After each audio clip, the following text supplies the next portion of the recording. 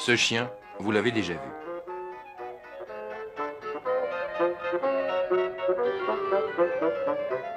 Ces culottes de golf, cette silhouette vous sont familières. Vous croyez avoir trouvé, mais vous doutez encore. Et pourtant, c'est bien lui. C'est Tintin. Nous sommes au bois de Boulogne, le vrai, celui des Parisiens, et ce Tintin est bien celui dont vous avez suivi les aventures. Bonjour Tintin. Bonjour. Très heureux de vous rencontrer. C'est pas possible, vous sortez de l'album, la ressemblance est hallucinante. Pourtant, vous êtes bien vivant. Ah, je crois, oui. Vous êtes un personnage de chair et d'os. Comment vous appelez-vous exactement? Jean-Pierre Talbot. Est-ce que vous avez lu toutes les aventures de Tintin? Bien sûr. Depuis toujours? Oh, depuis tout petit, depuis, que- depuis que je me rappelle vivre. Comment vous a-t-on découvert? On devrait demander ça à Chantal Rivière. Mademoiselle Chantal Rivière, une toute première question d'abord. Quelle est votre nationalité? Je suis belge. Vous êtes belge vous aussi, comme tous les personnages de cette aventure, puisque Tintin, lui, est... Je suis né à Spa, en Ardennes. Bon, alors ça fait plaisir à voir que euh, un personnage belge mondialement connu, créé par un belge, est maintenant euh, en votre personne, en chair et en os, et vous êtes belge aussi. Euh, Racontez-nous comment vous avez découvert Tintin.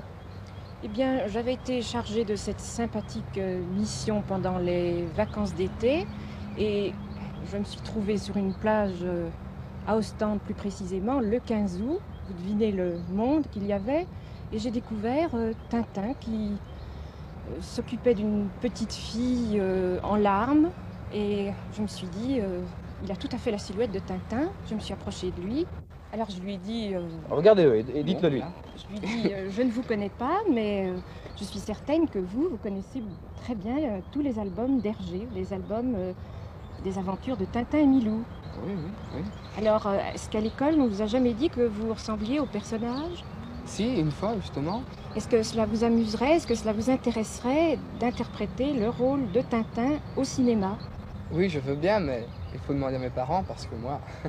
Alors comme ça, le jour où on vous a demandé d'interpréter pour le monde entier, de devenir pour le monde entier le personnage de Tintin, ça ne vous a pas fait plus d'effet. Ça m'a semblé naturel, euh, je me sentais déjà Tintin. Émilio, lui, quelle est sa nationalité?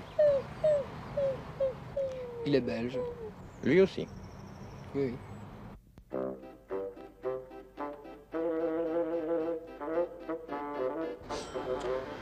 Monsieur Barret, vous êtes le producteur français du film Tintin et le mystère de la toison d'or.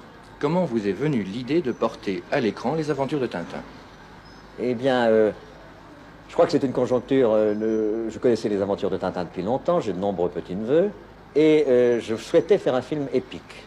Un film, connaissant, ayant voyagé dans, dans ces nombreux pays, trouver une dimension pour faire un west- un- un- une sorte de western, un suspense, avec un héros extrêmement moderne. Et le héros extrêmement moderne, je crois que nul n'était plus qualifié que Tintin. J'ai pensé que nul n'était plus qualifié que Tintin pour vivre cette aventure moderne et dans ce rythme de, de épique que nous, nous- parce que c'est évidemment Tintin est le, le héros. euh, des millions de jeunes s'identifient avec lui et c'était vraiment un personnage qui, qui euh, inspirait et pouvait justifier une aventure de cette nature. cela. Et vous n'êtes pas seulement le producteur du reste de ce film, vous êtes- vous en êtes aussi le co-scénariste. Oui, Et- je- j'ai écrit, enfin au départ, l'argument qui a servi de point de départ à cette histoire, et j'en ai écrit la- l'adaptation et les dialogues avec un de mes amis, Raymond Forlani.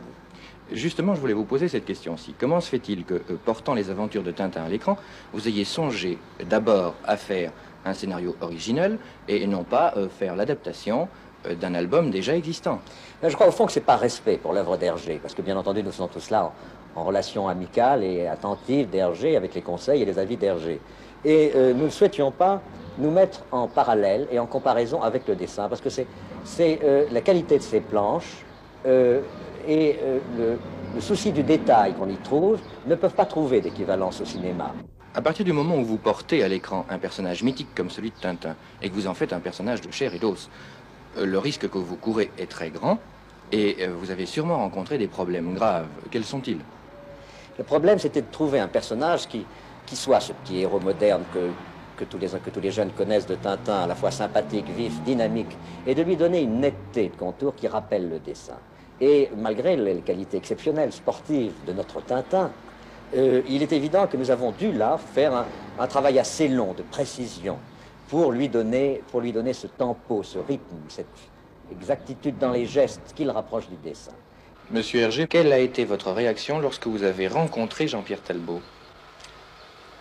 Il ressemble pas mal à Tintin, il est très bien. C'est un grand garçon, peut-être un peu plus grand que Tintin, mais il est simple, franc, euh, naturel. C'est un garçon qui, je crois qu'on n'aurait pas pu découvrir mieux que ce garçon-là. Et en tant que père spirituel de Tintin, euh, euh, n'avez-vous pas senti une espèce de filiation? C'est très difficile à dire. Non, non, pas, ça, mais enfin, c'était le, garçon qui, à mon avis, parmi tous ceux qui ont été euh, contactés, qui ont été vus, c'était celui qui, à mon avis, ressemblait le plus au Tintin dessiné. Comment voulez-vous D'ailleurs, il était impossible qu'un personnage réel ressemble fidèlement à un personnage dessiné, et encore comme un personnage comme Tintin, qui est un personnage, qui est plus un schéma que de, de personnage qu'un personnage réel. Vous n'avez jamais parlé, et sans doute vous ne parlerez jamais des parents de Tintin. Pourquoi? Oui, il a eu des parents, euh, comme tout le monde, comme vous et moi, j'imagine. Mais euh, du moment qu'on fait intervenir des parents, ou euh, disons des parents, euh, il n'y a plus d'aventure possible pour un garçon comme ça, hein, n'est-ce pas? Il y a trop Il d'impératifs. y a trop d'impératifs, il doit obéir hein, à ses parents. Par conséquent, ça alourdirait toutes les aventures. Et il vaut mieux qu'il soit libre comme l'air et qu'il soit absolument euh, capable de partir à n'importe quel moment pour n'importe quel pays. Euh, Tintin, qui est libre comme l'air, hein. a eu, a eu et a la chance euh, de pouvoir conserver toujours le même âge. Ah oui. Euh, S'il avait grandi, à votre avis, quel genre d'homme serait-il devenu? Ah, ça, c'est extrêmement difficile. Voulez-vous répondre à cela? J'y ai jamais songé d'ailleurs. Il aurait certainement très mal tourné. Il serait devenu euh, reporter à la RTB ou dessinateur, qui sait. Le personnage de Tintin, on a toujours dit que vous vous étiez inspiré de votre frère pour le créer. Qu'en pensez-vous? Est-ce vrai? Mais euh, j'ai- j'ai un frère qui était donc de, de 5 ans mon cadet. Et il est possible, il est même certain, je m'en suis rendu compte par après, que sa façon d'agir, que ses gestes, que tout- toutes ces, certaines de ses attitudes, je les avais enregistrées, mais à mon insu. Donc jamais je n'aurais songé à le prendre comme modèle. Mais il est exact que euh, il- je ne sais pas si c'est Tintin qui ressemble à mon frère ou si c'est mon frère qui est parvenu, qui, qui est arrivé à ressembler à Tintin. Mais enfin, il y a un air de famille, semble-t-il. Et qu'est devenu votre frère maintenant? Mon frère était militaire, est officier. Si Tintin a réellement bourlingué sous toutes les latitudes, ses albums l'ont suivi aux quatre coins du monde. Édité en neuf langues, il reste le champion des cadeaux de fin d'année. Tirage de chaque album, un million d'exemplaires. Un record de la littérature, plus fort que le Goncourt, c'est tout dire. Quel sera le thème de votre prochain album? Le thème, je ne vous en dirai pas beaucoup parce que c'est toujours le secret professionnel, ça. Et comme dirait les Dupont, motus et bouche cousue. Mais c'est un thème très simple. Et contrairement à la plupart des autres histoires, euh, les personnages euh, resteront euh, dans leur pays, resteront au château de Moulins. C'est l'aventure qui viendra à eux. Et l'exotisme, il y en aura un petit peu aussi, mais c'est l'exo- l'exotisme qui, qui viendra de l'extérieur. Ce seront des romanichels qui euh, amènent- apporteront la note exotique à cette nouvelle histoire. Est-ce que Tintin va encore courir beaucoup de dangers dans cette prochaine aventure? Disons moyennement, non. Pas des dangers extraordinaires, je ne le crois pas.